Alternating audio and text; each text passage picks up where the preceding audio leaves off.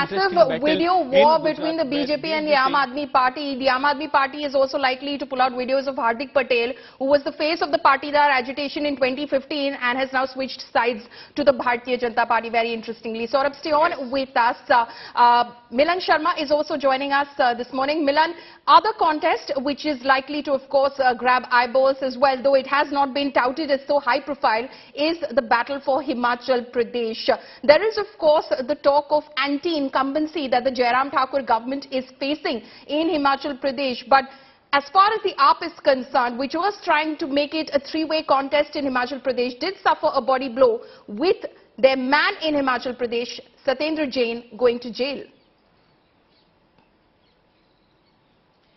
Well, uh, you've put it rightly, but I would believe that uh, the election for Himachal will also be pretty important for the BJP because going forward from here, you and I both know that everything now centers on 2024 as well. And both states, Gujarat as well as Himachal, are going to be very crucially important for the BJP to quell the talk of anti-incumbency because as the state of Himachal has just 68 seats, but certainly uh, whether the BJP is able to retain their hold on the state will decide a lot uh, for the neighboring states of Haryana uh, as well as uh, Punjab, where Punjab, of course, BJP is finished. But we're looking at this election in Himachal.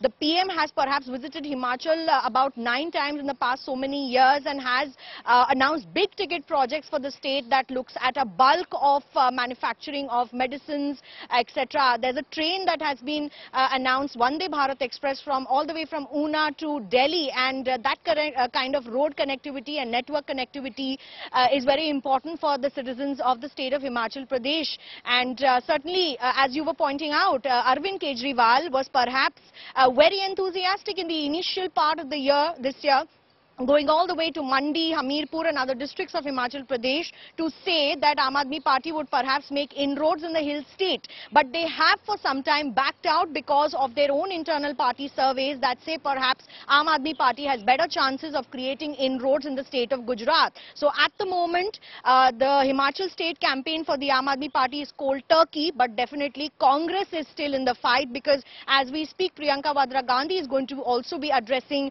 a rally in Solan in Himachal Pradesh today. And that is also going to be crucial to understand because the fight in Himachal is perhaps going to be between the old guard, the Congress party, and the BJP that will fight to retain their, uh, you know, power in the state of Himachal. And a lot can be decided based on how many states uh, uh, BJP needs also in future as we spoke because 2024 is also a very important target.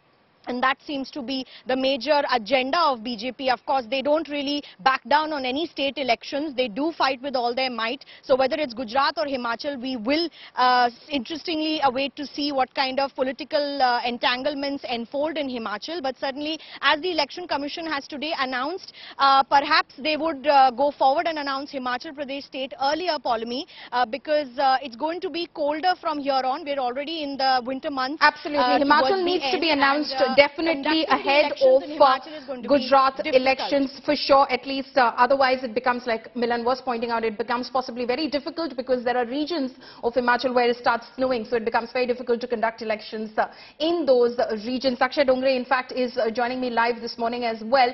Akshay, any sort of clarity which is emerging as to whether two state poll dates announcements are to be made today or is it going to be just one state likely to be Himachal?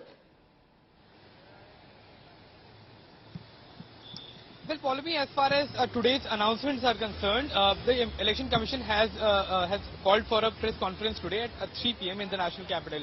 Now, the biggest question is this: that whether the poll body uh, uh, will announce the election dates for both of these states. Because when we talk about the last election that took place in 2017, the Election Commission had announced the dates of Himachal earlier, and it took about 13 days for the uh, for the Election Commission of India to announce the election dates of the state of Gujarat.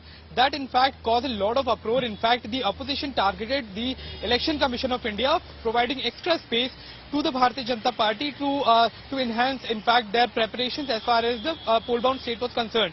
Now, uh, and then uh, the Election Commission of India had given a clarification that because of the, the flood-like situation in the state of Gujarat, they had to make extra preparation. Now, this time there is no such no such uh, situation in Gujarat right now. However, it remains to be seen that whether the poll-bound body will be announcing the uh, the election date for both the states because the tenure of the Himachal Assembly will be ending in the second week of January. Uh, whereas uh, the, the tenure of the Gujarat Assembly will be ending uh, in after after the mid of uh, February, so more than a month later.